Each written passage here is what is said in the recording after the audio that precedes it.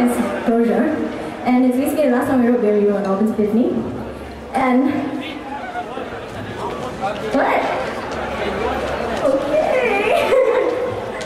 next time, next time. Okay, but this song actually goes out to every single person that has got their heart broken by somebody that just wasn't worth their time. So yeah, this is Closure.